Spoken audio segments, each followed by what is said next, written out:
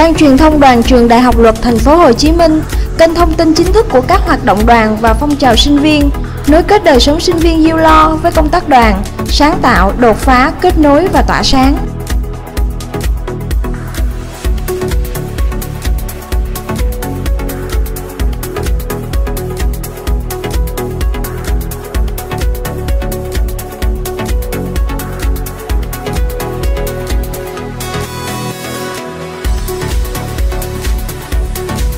Biên tập,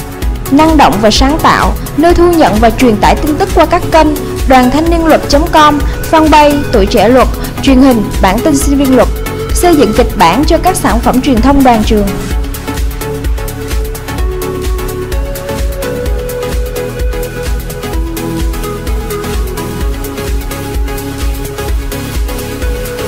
Radio Tạo cảm hứng và truyền cảm hứng Kết nối sinh viên yêu lo qua kênh truyền thanh, radio, tiếng nói sinh viên luật Phản ánh mọi mặt đời sống của sinh viên trong nhà trường và ngoài xã hội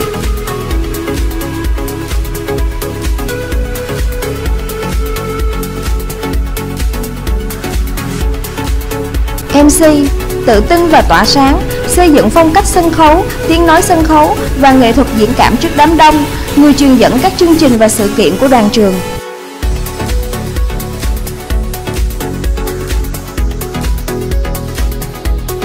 Media cá tính và khác biệt, đột phá trong các ý tưởng thiết kế, nổi bật với các sản phẩm truyền thông dành riêng cho sinh viên Lo.